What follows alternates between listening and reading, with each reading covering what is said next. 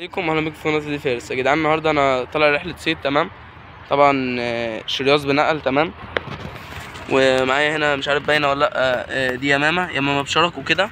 طالعين طبعا رحلة صيد ربنا يكرمنا. الأرض طبعا أول ما دخلت كان في بط كتير جدا وكان في حوامات طايرة وكلام من دوت. آه، فتابعوا معانا. إن شاء الله إحنا هنحط الشرياز بنقل كده آه، بفريسة يعني مش هنطيروه هنحطوه فوق حجرة. وتابعوا معانا. وهنحط برضو مصايد الصقور العادية اللي هي بالعصافير. خليكم معانا. اهوت على أول مصيدتين أنا مش شايف عليهم أي حاجة الصراحة. طبعا أنا سايب شرياز بفريسة ومصايد بس في أماكن تانية. يعني هنا الجبل دوت أو التل دوت. لا كده إيه؟ المصايد دي فاضية. هنروح نشوفوا إيه؟ أنا سايب مصايد هناك. نروح نبص عليها دلوقتي. خليكم معايا. على الجبل هناك يا جدعان أنا اتبليت واتغرقت وقعت وأنا عشان لمحت. آه، الشرياس معلق في حاجة وكانوا بيصرخوا. تمام؟ فأنا رايح أشوف. إن شاء الله في شرياس علق يعني لأن أنا لمحت الترين يا حوام إن شاء الله.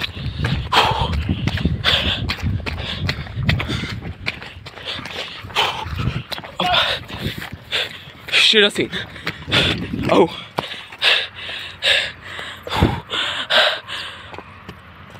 اهو شرياس الحمد لله. تظهر يا جدعان مساكن عصفور الكوكتيل اللي خلاني قفلت التصوير انه عضني تمام؟ ده الشرياس اللي كنا مركبين فيه الفريسة. وريهم الفريسة وري الشرياس اللي إحنا لسه ماسكينه.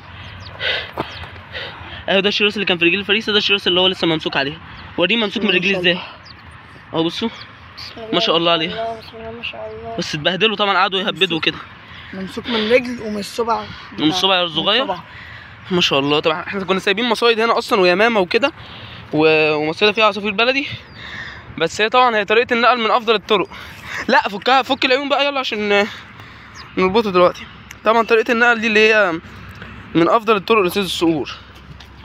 زي ما أنتم شايفين كده دي بتبقى الفريسة الشرياس ده أكيد كان نزل على أساس إن هو عايز ياخد من الشرياس دوت ال- الفريسة اللي معاه. وكده بيعلق بالنقل. النقل دي بتبقى عبارة عن شراكات تمام؟ معمولة مثلا بسلخ فرخة بعصفورة بلدي هنكمل صيد آه، و like و subscribe وخليكم معانا. طبعا إحنا جبنا الشرياس لو واخدين بالكم في حوامين بيحوموا هناك تمام؟ ما شاء الله عليك. حجمهم كبير جدا تمام؟ أنا هحاول أزوم عليهم. أصلا أنا مش شايفهم والله بسبب الشمس. هم راحوا فين أصلا؟ أه هناك هم الأرض كبيرة خالص هم راحوا من عيني تمام؟ إحنا دلوقتي بظبط ال- الشرياس تاني عشان لو حاجة نزلت عليه تمام؟ و- والمصايد جاهزة وفي يمام وكده.